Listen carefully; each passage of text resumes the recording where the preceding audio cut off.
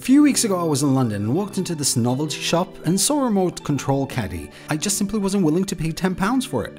So as soon as I got back, I jumped onto Fusion 360 and within 10 minutes, I designed a one-to-one replica of it, set it to print overnight, and the next morning, there you go. I had my remote caddy and it only cost me a few cents. The awesome thing about 3D printing is that even if you can't design something, you can always find something fancy on printables, like this cocoon model from Cisco printed in Prusament Galaxy Green. So what else do you think I should design and print to save some money?